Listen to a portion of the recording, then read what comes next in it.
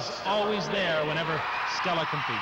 Scott, she is always sweating it out, isn't she? But she's been through many, many international events with Stella. This is great for Stella to be starting on one of her strongest events, the vault. Beautifully done, Yurchenko full twist. Now the start value on that vault is only out of a 9.8. That's the maximum she can receive. Great height. Look at the distance, but a little too much umph on Stella's part. A one hop on the landing. 9.675 for Stella. We made the start value a 9.